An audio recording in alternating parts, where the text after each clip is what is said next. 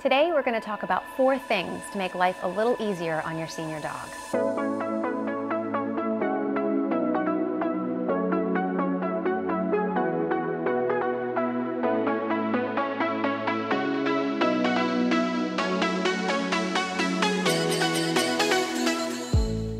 Life with a senior dog is different than life with a young dog. Senior dogs have different ailments and different needs that can often make navigating the final years of their life and making them more comfortable a good bit challenging. So today I'm going to talk to you about four simple things that can make life a little bit easier on your senior dog, involving the brain and the body. If you like this type of video, please be sure to let me know by hitting that like button. Hit subscribe and hit that bell notification so that you can continue to receive updates when we post new videos. Doing that helps make videos like this possible. So if you'd like to see more, please hit those buttons. Now let's get right into it. The four things that we're going to talk about today have to do with cognition, comfort, mobility, and wellness. Wellness being the first thing that we're going to tackle.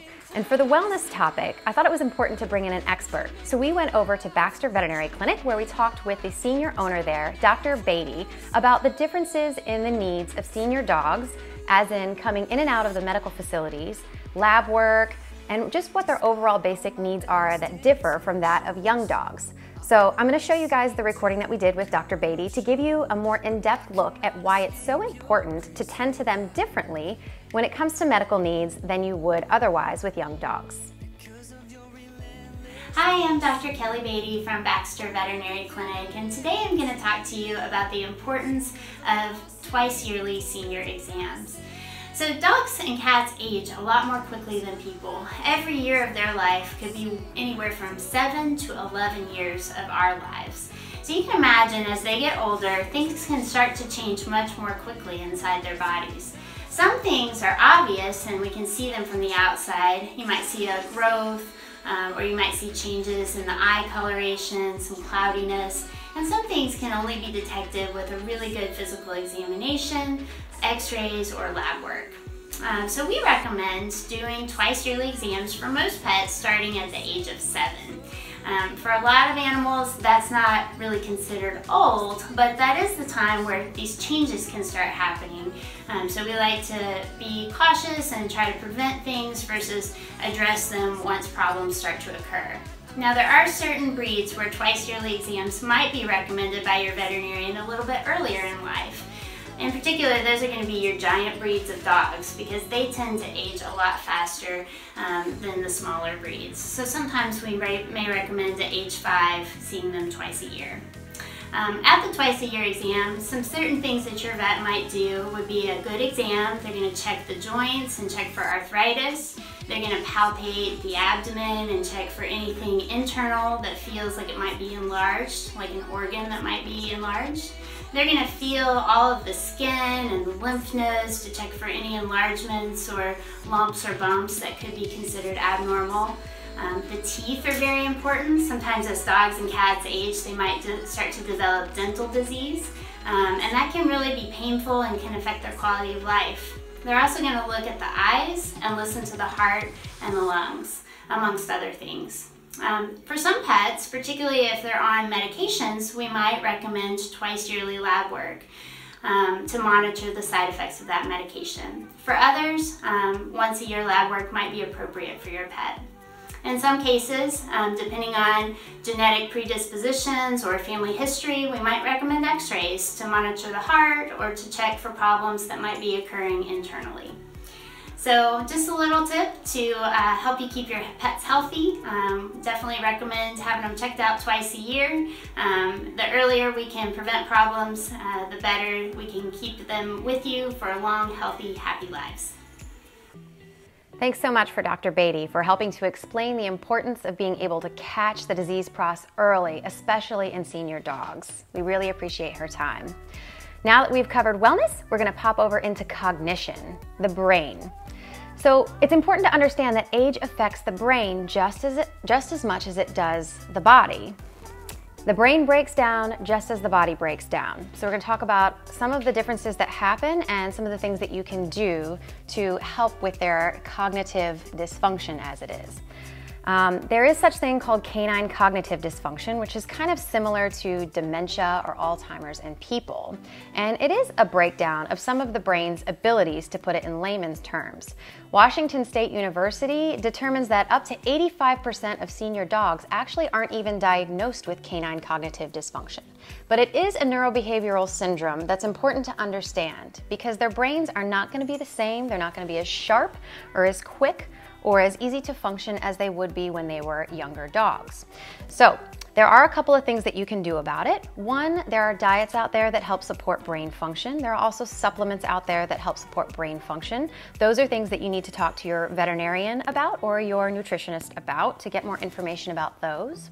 They seem to have a minimal effect, and some report better outcomes than others do, but it's something worth trying if you feel like your dog's cognitive functions are starting to fail. The other thing that you can do to help encourage your dog's brain capacity and function is continue to engage them mentally. Continue to provide stimulation for them. Continue playing with them as much as they can physically.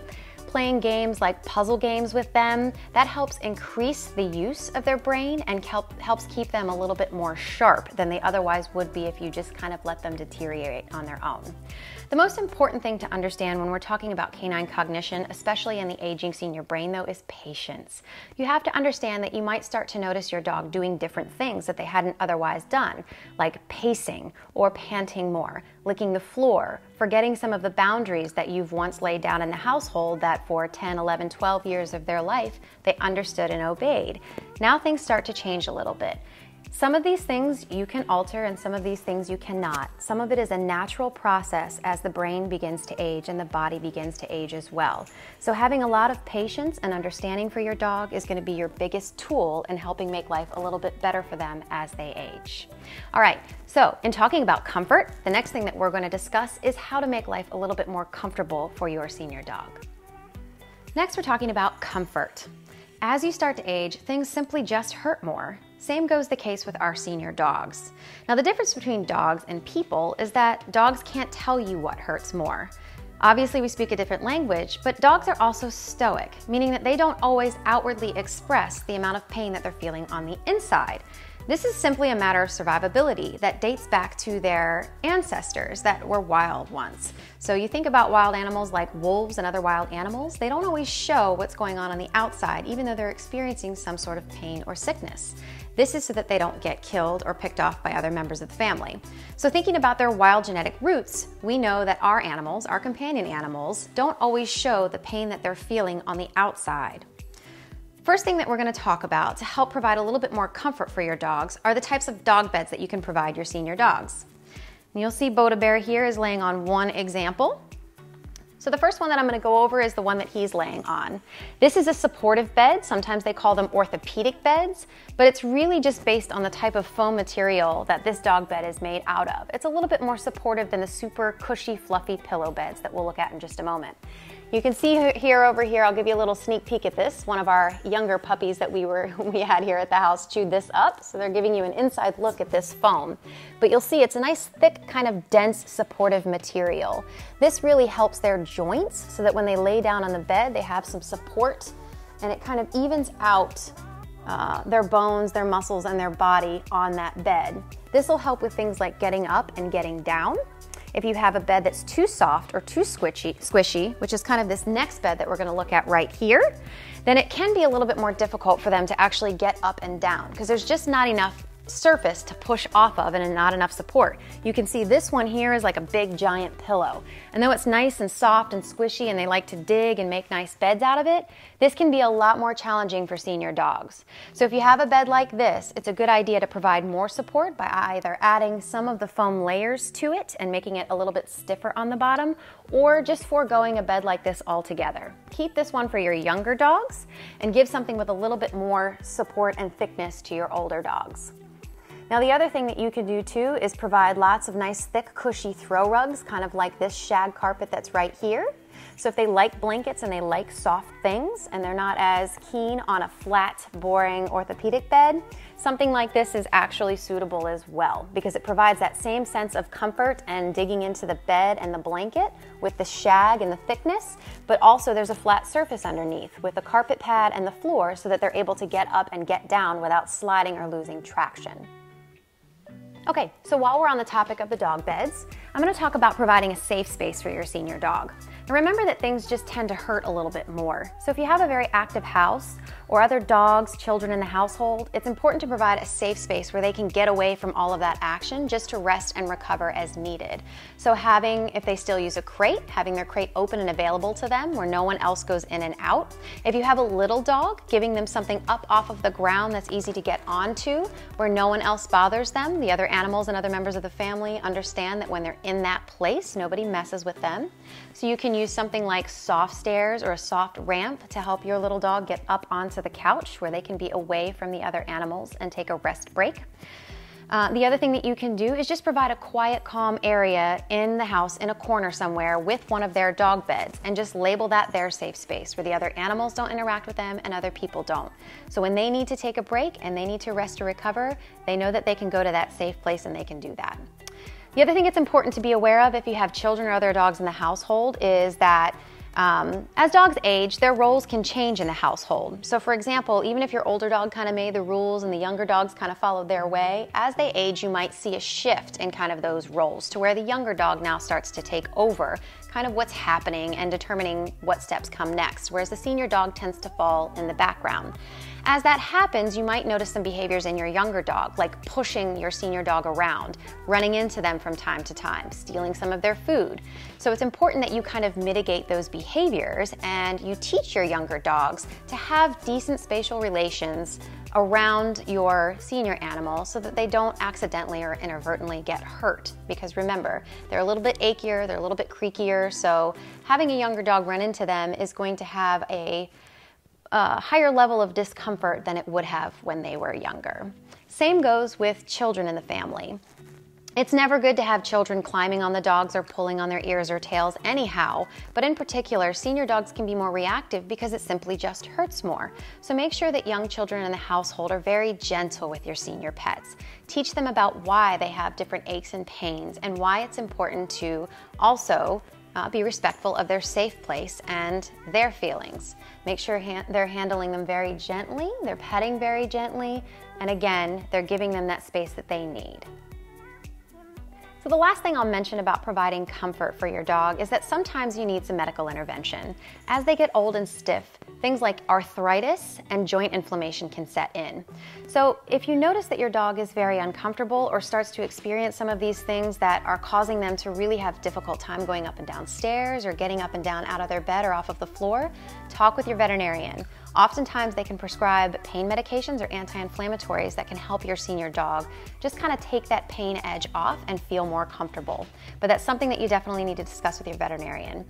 There's nothing wrong with pain management, and any way that you can make them feel more comfortable in their final years, the better for them. Now that we've covered comfort, we're going to talk a little bit about mobility because when your dog is comfortable, they move better. So let's talk about some things that we can do in the house to make mobility easier and safer for your senior dog. Next, we're going to talk about mobility. Now, as we mentioned before, it's a little bit harder for senior dogs to move. They just don't get up and down nearly as easy. The problem with that is that it makes them a little bit more inclined for injury. So, we're going to talk about a few things that can help avoid potential injuries just as things get harder for them to move. Just a few simple things you can do throughout the house to make their mobility much easier.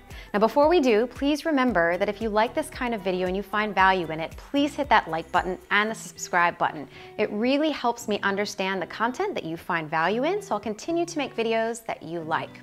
Okay, let's start with mats. So down here on the floor, I have a simple bath mat. So you can use something like this, a bath mat, or you can even use carpet square samples that you can get from the carpet store. The important factor is that the bottom has a no-slip surface to it right here, and the top is soft. But it's not super soft and pillow-like, so it's firm that they can actually move and get up. The no-slip surface bottom is important so that this doesn't slide as they get up. If you have a blanket on the floor, it's very slip, slick and they can lose their footing and lose their balance and that can cause injury. So we're looking for things that will help prevent injury, no slip surfaces. So you'll notice here is my carpet, then I have a very slick hardwood surface, and then over there another carpeted surface which is over in the stairwell. What I want to do for a senior dog that's having difficulty getting up and with mobility is provide some in-between surfaces that are much easier for them to grasp. So in this area, ideally, I would provide two or three of these little carpet squares or bath mats or a runner rug to get them from the area that's easy to stand on to the area of very difficult traction for them. So they're less likely to slide and slip on this hardwood floor. The bath mats are great to use anywhere throughout the house if you have hardwood floors. Same with the carpet squares if you want to do something that's a little bit more fashionable and matches throughout the house. But it's important to cover up some of the areas of hardwoods in between so that they can get better traction and then they're a lot less likely to slip and fall and hurt themselves. Okay, another thing that you can do in the household is purchase booties. Now, these little booties here, for example, are often used for outdoor wear for younger dogs. The reason that they use these outside is because if you have hot asphalt or pavement or very cold surfaces or things that could potentially harm their paws, this helps protect the paws. But the other great thing about these is that you can use them in the house as well. You'll notice that on the paw part down here, this is also no slip. This is very grippy so where their nails or just their imbalance might cause them to slide on a hardwood floor, these help create some traction so that they can avoid slipping and falling and injuring themselves on the hardwoods. These come four to a set, you'll see here. Front paws and back paws, and when fastened appropriately, they stay on fairly well. Now you will want to condition your dog positively to this, so introducing them to them, giving them treats and rewards while you put one on at a time, and just practicing with them on, on their feet for short periods of time so that they can get used to them and it doesn't frighten them or it doesn't feel weird to them. You might notice the first couple of times that they use them, they high step like a horse, but remember, it's something new and something different that they have to get used to. But just having booties on in the household, especially if you have hardwood floors, can severely reduce the likelihood that they will slip and fall and injure themselves. These are a great tool if you can get your dog accustomed to them and you have hardwood floors. So let's talk about nails just for a brief moment. Now, the importance of talking about nails is to understand that as dogs age, and they grow and their nails continue to grow. If they curl around or they're much longer than their pads here, you can see this one's right at kind of the level of, of Boda Bear's pad, is that it can make it more difficult for them to walk and make it more painful on their feet as they push down and against surfaces. The other thing too is that the nail surface is slippery. So if you have hardwood floors, it can cause them to slide. So it's really important that you keep their nails trimmed and nice and tidy. It's easiest if you use a Dremel tool to kind of round out those hard surfaces and make it a lot more blunt so they're less likely to slide and slip and fall. Nail care in senior pets is very, very important so that they're less likely to injure themselves. So make sure that you keep them nice and tight and short and rounded. Okay, so mobility, just like comfort and wellness and cognition, all boil down to one important factor for your dog, and that's really quality of life. They only have so much time left with you, and you really want to make the best of it. So I hope that you picked up a couple of tips today that really help make life a little bit easier for your senior pet.